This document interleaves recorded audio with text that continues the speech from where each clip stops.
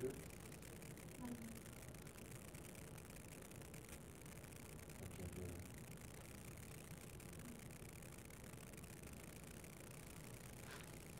Here, let's take out some tiles.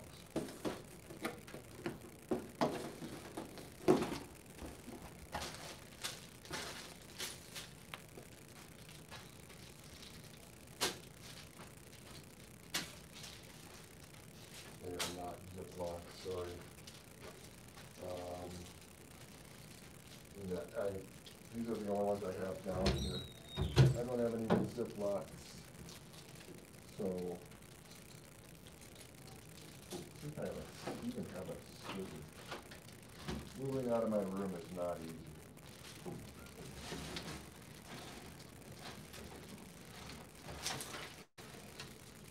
Can you tear it open? Yeah, cool. Okay, so if we do this, if we work with these tiles, we work with the algebra tiles, which algebra tile do we use as a number one?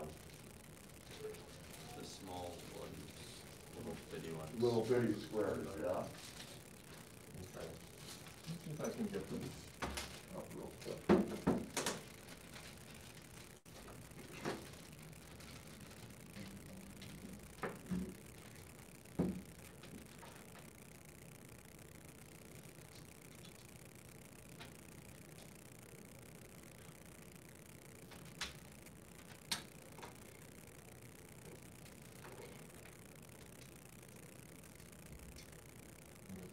I'm, I've never used this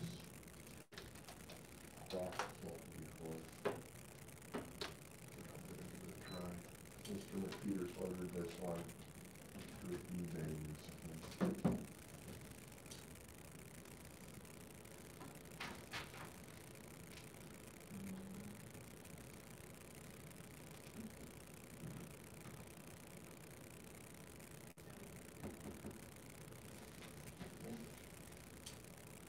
Let's see if I put it into HDMI, if this thing works.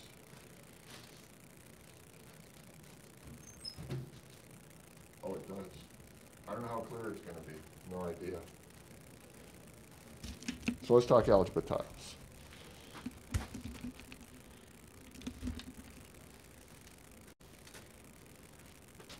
Okay, So, we're saying that that's gonna be a one, is that right? Um, yes. Okay, so if that's a one, what is this one gonna be? Five. Ooh. Ten. Ten. Marvis? X. Yeah, because the length of it isn't necessarily five, it's not four. The idea behind this is that the length can be anything. So in this case here, there's, comes up to four. When they actually make these things, they make them in such a fashion. Whoa! This all, well, I guess it's off by just a little bit. Just to, be nice if it was a little bit further off of five. But nonetheless, it's supposed to be X. It's supposed to be a variable. So this four times three plus X, let's represent that on the algebra tiles here. So if I took four multiplied by the X and the three, what we need to do with this, if we're gonna use what is called the area model of multiplication, we want to multiply length times width. So we would think of the four as a length, and then the x plus three would be another side of a rectangle, or the width of it. So, you guys have four ones that you could use as one side? Set it up like so. Here's one side. And what we're gonna do is we're gonna create a rectangle. And then come up with the area of that rectangle. So model this one with me if you would.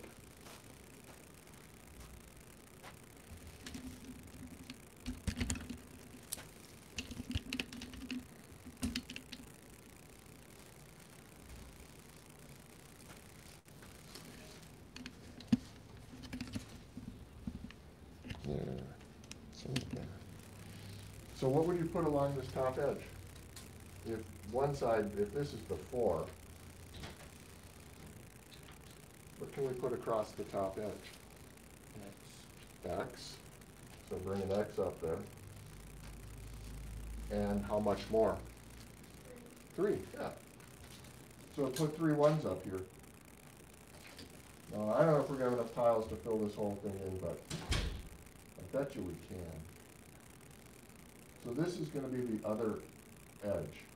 And what, what we're trying to do is figure out if we multiply this length times this width, or this side of four times the x plus three side, use x plus three. What's the area gonna be? What fills in? So, take some of your algebra tiles and fill this in. What would go, what would end up being this little section of the rectangle? In other words, if I took this one and multiplied it by that, what would have to get filled in here?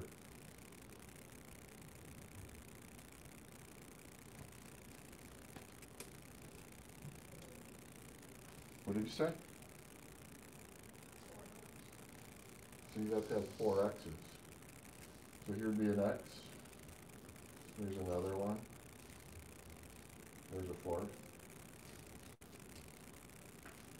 So there's four x's. So the four multiplied by the x portion is four x. So what I'm gonna do is I'm gonna, I'm gonna come over here on the paper and I'm gonna write four times x plus three again. So that four multiplied by x, the four multiplied by the x is the first term times the first term inside of the parentheses. So what's gonna go out in this section to fill in? three, Yeah, Three here, three there. How many total? nine, no, well, Twelve. I don't know if we have enough squares, but if you're gonna fill all of these in, we'd need to have twelve of them. Two, four, six, eight, ten. Looks like there are enough.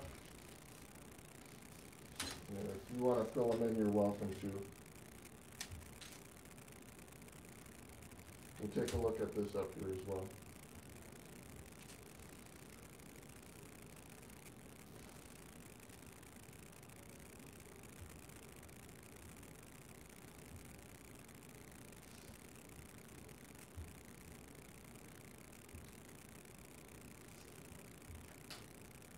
So if you're at home watching and you want algebra tiles, shoot me an email, I'll figure out a way to get them to you.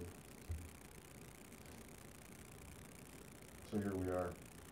So if we separate the sides, the four and the eight, we separate that, I'm sorry, the four and the x plus three, if we separate those. The rectangle is the product, that's the result of the multiplication. And the four and the x plus three are the two factors.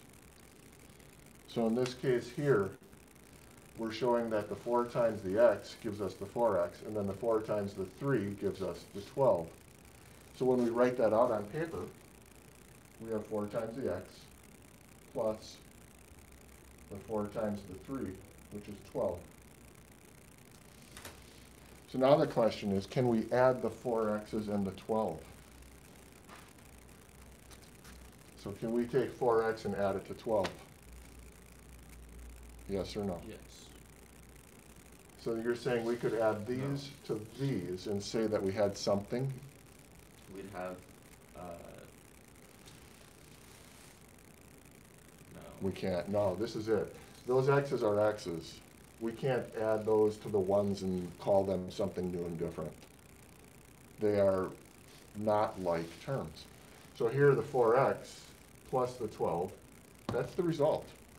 That's all we have in terms of the multiplication. So now let's come back over to this other problem over here, the one that's on the board. Uh,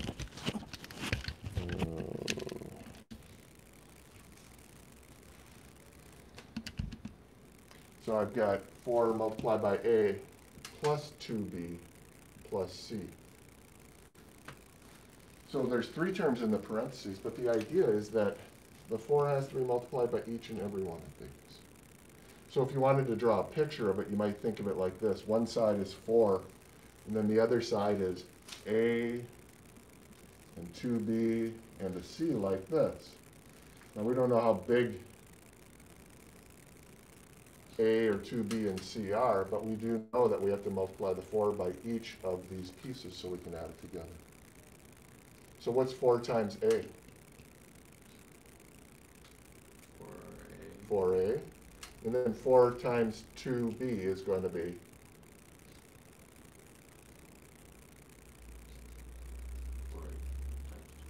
Four times two is six. times, Oh. Uh, A, B. A, huh? Wait. Four 6A. multiplied by two. 6A. Sorry, six A. Just Okay, so if this much is two B, we have how many of them? Four. Four, so if this is two B, two B, and that's two B, and that's two B, how much is all of this? Eight. Eight, thank you. And then four multiplied by C is, is four C. So if we look back at the problem here, we look at taking the four and multiplying it by each of the three terms. So this becomes four A plus four times two times B plus four times C. So can A's, B's, and C's be added together? Yes. No. No, because they are not like terms. We don't know what A equals, we don't know what B or C equal, so we're left with that. That's as far as this goes. That's as far as that works. So, the distributive property formally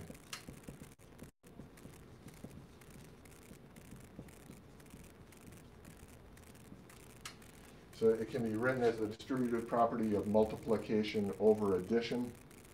It can also be written as the distributive property of multiplication over subtraction. It works like this. This is the general rule. If we have some value,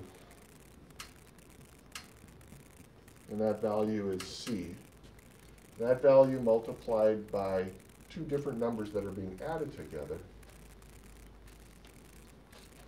has to be the C multiplied by the A and the C multiplied by the B.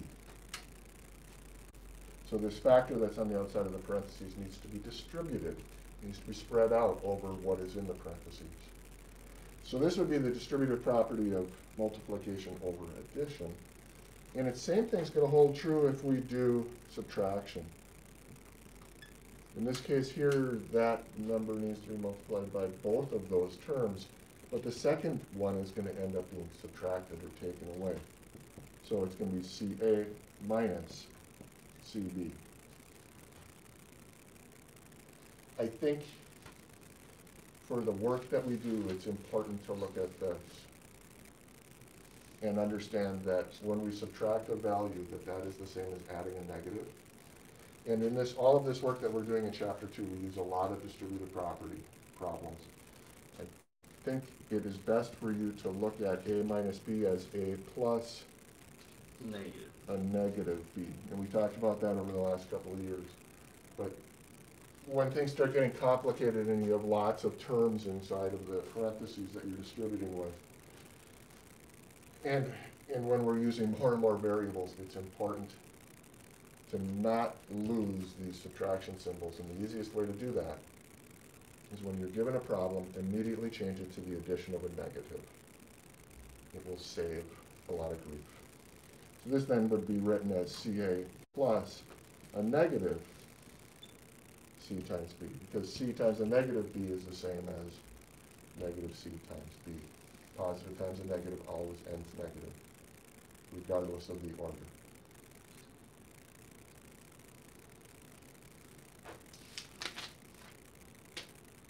Okay, so you guys walk me through something here. The second example, it says to expand. When they use the word expand, what they're meaning is to remove parentheses, spread out the expression expanded.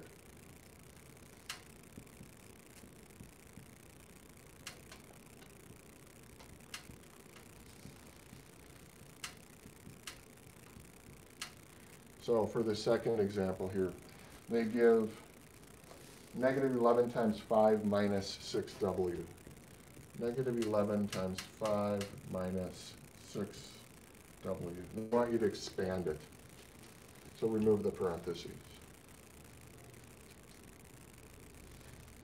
So what's a good first step?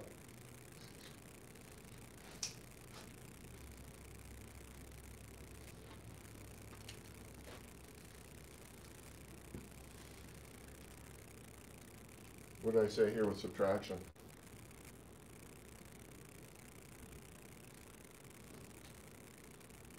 You have subtraction of something in the distributive properties, we Addition to a negative. change it to the addition of a negative. So if I rewrite this as plus a negative six W, that's a good first step. So, follow the pattern. What shall we write now?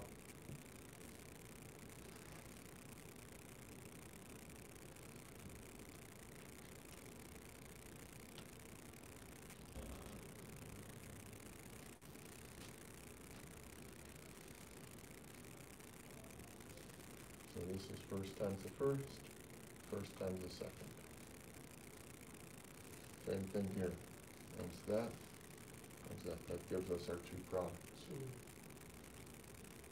So, what do we multiply together first?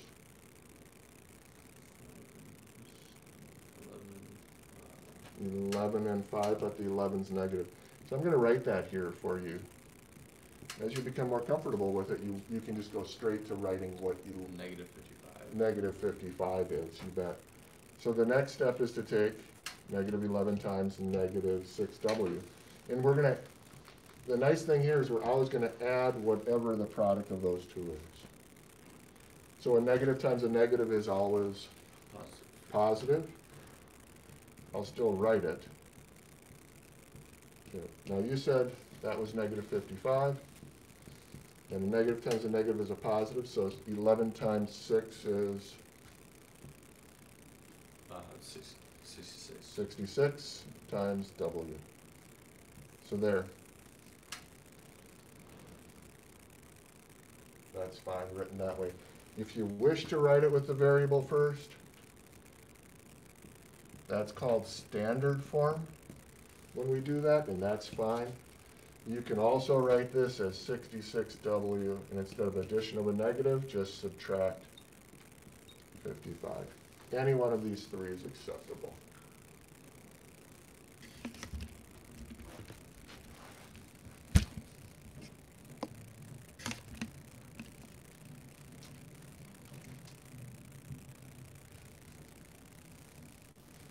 Okay, let's do the next one.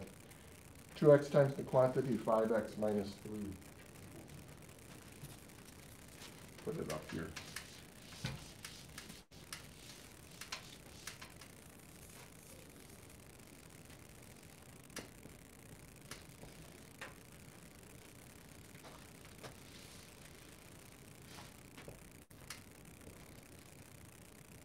So let's set this one up with algebra tiles.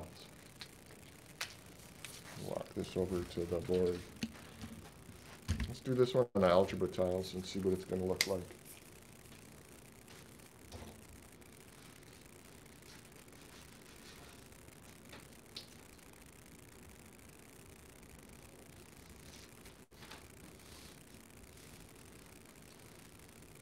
X minus three. Well, I'm just gonna change it to X plus a negative three, right off the bat. So we need to have a side which is gonna be two x's long, and another side which is gonna be x minus three long. So grab your tiles. How are we gonna show that something is two x's in length? Yes. So they got a green and a red side. Um, I believe that red is gonna be positive. The green would be a negative x. So there's one x. Here's a second x. So this would be two x's in length. So now we have to go across. How long are we gonna go across the other direction? one x plus Negative three. three negatives, yeah. So rather than subtracting from the x, here's what we do. We put our x up here, and then we'll just flip over. So the off-colored side are gonna be our negatives. So here's an, here's an x, here's a negative three. And Now the idea is, we wanna, we wanna fill in everything, fill in that area with the appropriate shapes and count it all up.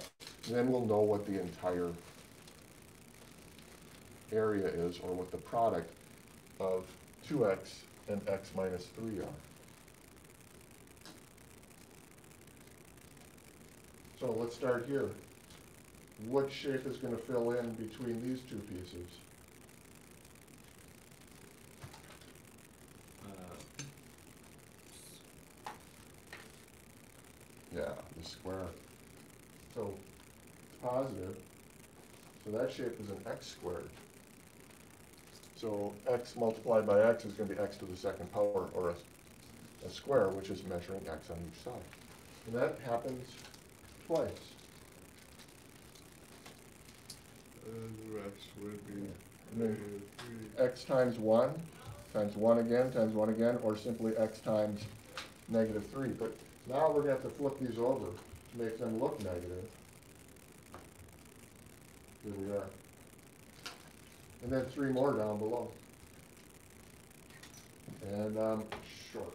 You guys probably are too, mm-hmm. being brand new packages. So this would be one more down here. So if we look at this, the total of x squared is two, and the total of negative x's is six.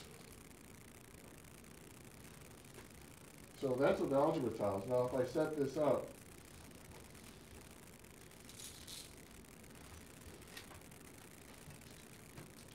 using the distributive property, we have two x multiplied by x, which is written like this, two x times x, or two times x to the second power. And then we have two x's times a negative three, two times negative three is negative six. So there's negative six, and then we have x. So two x squared plus negative six x. You could also write this two x squared minus six x. Either of those are acceptable.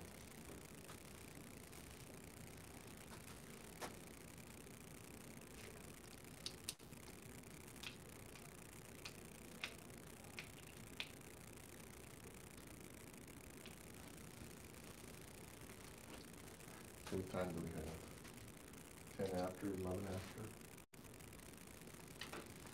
Oh, we got all, we have all kinds of time. All right, so here, now we have one more, using the distributive property to write this fraction as the sum of two fractions. So This one, a little bit different. Get some board space here.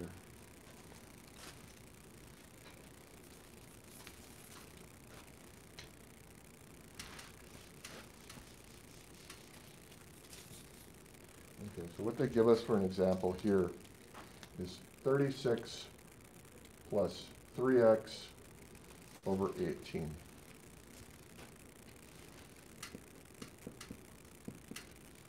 Or we might say all over eighteen. So a couple of things with fractions that is gonna be helpful to remember is that if we had, uh, oh gosh. Let's, let's see here. Let's say we had something like, uh, two fifths plus four fifths. If you were gonna add those two fractions together, how do you go about doing it?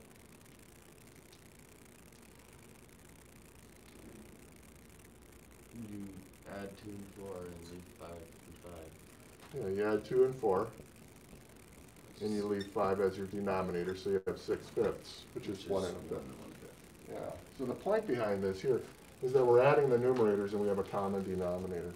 So in this case here, thirty-six plus three x over eighteen Common denominator. Yeah, that's like having two terms, thirty-six and three x, and their common denominator is eighteen. So this can be rewritten as thirty-six over eighteen and three x over eighteen. So why do this? Because now we can simplify. So thirty-six over eighteen becomes, Uh, one and one, one and two. And then three and eighteen have a common factor of three, so this becomes one and eighteen divided by three is. Six. So we can rewrite this fraction as two plus one x, or simply x over six. That's simplified. And sometimes we end up with an answer like that, but if we need to simplify it,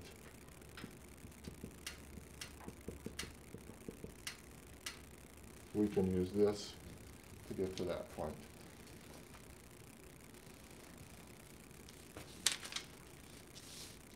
So that's how we get started with distributive property. The distributive property is like underwear. It goes everywhere with us in math, except swimming. Although you can still swim in your underwear. This is like a vital tool. We're gonna spend a lot of time on this chapter, working with it. And we're gonna look at different ways to model it. One way to model it is like in the second problem. This is an important one to take a look at. That's essentially an algebra tile model, where they take, what is it, k they use for a variable? They say one side is k, the other side is a three k. They box it off, and a sixteen. They box it off like that. Well, basically, what this is saying here is very similar to our algebra tile model. It's saying that this k is a length, and it gets multiplied by that length, so it has to be three k multiplied by k. This here ends up being k multiplied by sixteen, or sixteen multiplied by k. Always write the coefficients in front of the variables. So write the integer value that's being multiplied by the variable in front of the variable. So this is one way to model this. You know, we can say that it's k times three k plus sixteen. Much like we did with the algebra tiles. And this, this problem here on, on the board, this was two x multiplied by x plus a negative three. And we then saw that it was two x squared, so that's the area, plus a negative six x. And the factors, the multiplying terms, are the two x and the x minus three lengths. So they ask for that. You know, they ask, show us the area of the largest rectangle. Well, that's this, that's the area. That's the result of the multiplication. So, let me go with that. Work on your homework.